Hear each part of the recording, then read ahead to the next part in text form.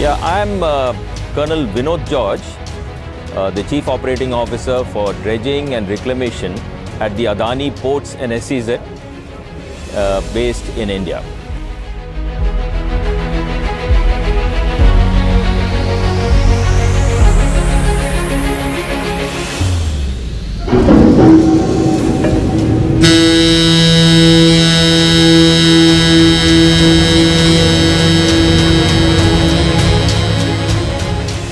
Having had the experience behind us in terms of uh, uh, manufacturing the cutter suction dredgers and having it delivered through IHC, operating it over the years now, more than 10 years, uh, we found that the IHC vessels are reliable and they are efficient.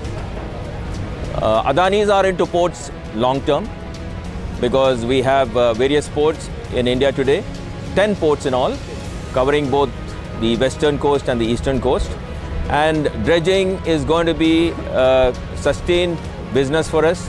What we realize is that it's not only uh, in terms of dredging um, for our ports, we also feel that we could make use of a combined combination of the trailing suction hopper dredgers and the cutter suction dredgers to probably uh, use it as a revenue earning potential for us.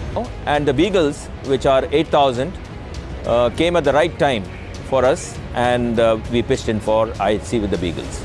We found that the Beagle 8000 in terms of its size, in terms of its capacity for dredging, would meet the port requirements of our existing ports. The provisions exist in these beagles for uh, customization, and we have gone for the latest- kind of control equipments that need to be there the intuitive chair, the uh, pump controller, and the speed controller while dredging. So, these would help us to dredge more efficiently. Efficiency uh, and operational costs would become the uh, deciding factors as far as uh, our uh, continuous day to day operations in our ports are concerned.